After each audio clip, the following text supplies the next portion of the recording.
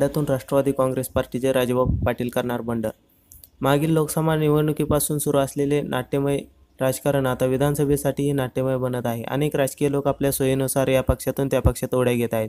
विधानसभेसाठी कोणत्याही पक्षातून उमेदवारी पदरात पाडून घेण्यासाठी अनेक दिग्गज आज आपला पक्ष काही क्षणात बदलत आहेत. माढा लोकसभेसाठी राष्ट्रवादीमधून आमदार बबनदादा शिंदे यांचे बंधू संजय शिंदे हे उभे होते. तर भाजपामधून रणजितसिंह निंबाळकर हे रिंगणात होते.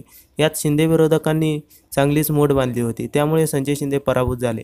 त्यानंतर आमदार बबनदादा शिंदे यांनी राष्ट्रवादीचे जिल्ह्यातील सर्व कार्यक्रमांना अनुपस्थित राहून राष्ट्रवादीपासून काही अंतरावर आणि पसंत करीत भाजप आणि शिवसेनेच्या संपर्कात राहिले.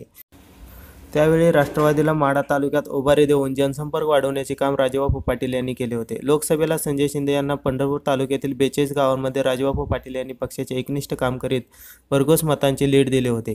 आता माढा लोकसभेसाठी आमदार शिंदे यांनी शिवसेनेतून तिकीट मिळवले होते.